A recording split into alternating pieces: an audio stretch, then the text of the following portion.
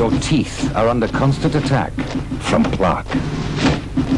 So are their foundations, your gums. Fortunately, there are lines of defense. Brushing with Macleans fights the plaque that causes tooth decay. It also helps protect your gums from disease.